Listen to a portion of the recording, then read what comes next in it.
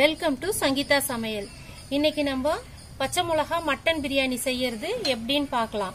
இன்னைக்கு நம்ம இதை வந்து தோட்டத்துல செய்ய போறோம். அடுப்பு பத்த வச்சு இப்ப வாங்க நம்ம எப்படி செய்யறதுன்னு பார்க்கலாம். இப்போ பாத்திரம் காஞ்சிச்சு. இதுல நம்ம எண்ணெய் சேர்த்துடலாம். நான் நாலு கப் ரைஸ் எடுத்திருக்கேன். அதனால ஒரு கப் எண்ணெய் ஊத்திருக்கேன். எண்ணெய் காஞ்சிச்சு.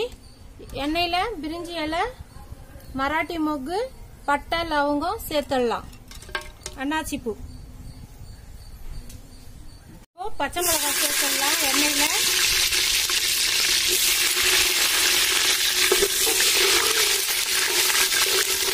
இப்போ அது வெங்காயம் சேர்த்துடலாம்.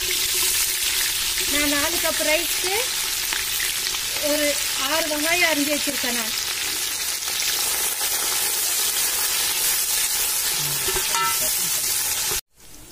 வெங்காயம் கோல்டன் ப்ரௌனாக வதங்கிடுச்சு. இப்போ இதில் இஞ்சி பூண்டு பேஸ்ட் போட்டுடலாம். ஒரு கப்புக்கு ஒரு டீஸ்பூன் மாதிரி நாலு கப்புக்கு நாலு டீஸ்பூன் ஃபுல் ஃபுல்லாக சேர்த்துக்கிறேன்.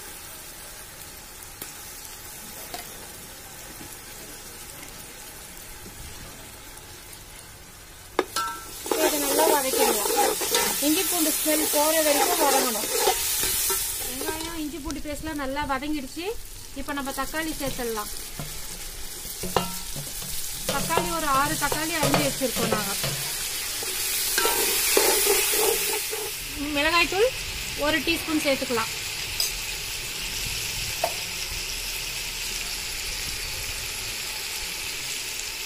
தயிர் ஒரு கரண்டி அளவுக்கு சேர்த்துக்கலாம். மஞ்சள் தூள் சேர்த்துடலாம். இப்போ எல்லாத்தையும் சேர்த்து வதக்கிடலாம். பிரியாணி மசாலா ஒரு டீஸ்பூன் சேர்த்துக்கலாம்.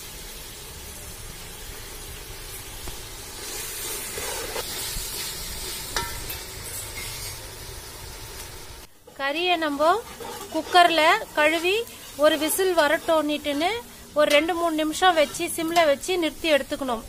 ஒரு முக்கா வேக்காடில் இருக்கும். நம்ம அதை இப்போ நம்ம பிரியாணியில் போட்டு வேக வச்சிடலாம். இதில் வந்து நான் கொஞ்சமாக மிளகாத்தூள் ஒரு ஹாஃப் டீஸ்பூன் மிளகாத்தூள் உப்பு கொஞ்சமாக சேர்த்துருக்கேன். மஞ்சள் தூள் சேர்த்து இஞ்சி பூண்டு பேஸ்ட் ஒரு ஹாஃப் டீஸ்பூன் சேர்த்து வேக வச்சு எடுத்துட்டேன் நான். இப்போ நம்ம கறியை சேர்த்து வதக்கிடலாம்.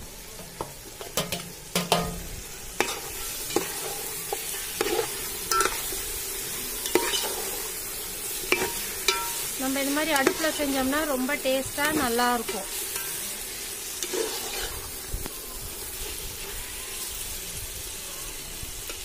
நாலு கப் ரைஸ்க்கு எட்டு கப் தண்ணின்ற அளவுக்கு அளந்துட்டு இந்த கறி தண்ணியும் சாதா தண்ணியும் அளந்து எடுத்து வச்சுட்டேன். இப்போ அது கறி தொக்கு வதங்கின உடனே நம்ம இந்த தண்ணியை தூக்கி ஊத்திடலாம். இப்போ வதங்கிடுச்சு. நம்ம தண்ணி சேர்த்துடலாம்.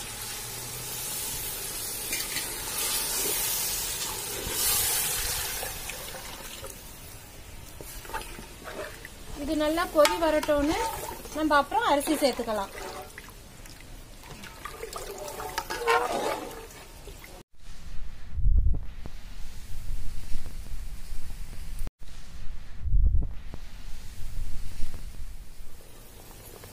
இப்போ தண்ணி நல்லா கொதிச்சிச்சு. நம்ம அதுல அரிசி சேர்த்துடலாம்.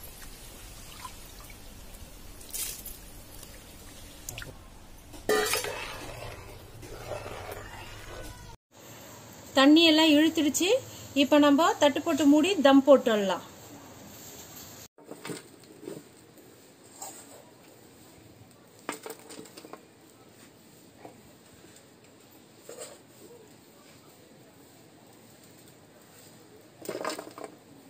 நம்ம தம் போட்டு ஒரு பத்து நிமிஷம் அப்படியே விட்டுடலாம். இப்போ நம்ம தம்மெல்லாம் எடுத்துட்டோம். இப்போ நம்மளுக்கு சுவையான மட்டன் பிரியாணி ரெடி ஆயிடுச்சு. இந்த வீடியோ பிடிச்சிருந்தா லைக் பண்ணுங்கள் ஷேர் பண்ணுங்கள் சப்ஸ்கிரைப் பண்ணாதவங்க சப்ஸ்கிரைப் பண்ணுங்கள் அடுத்த வீடியோவில் உங்களை சந்திக்கும் வரை உங்களிடமிருந்து விடைபெறுவது சங்கீதா.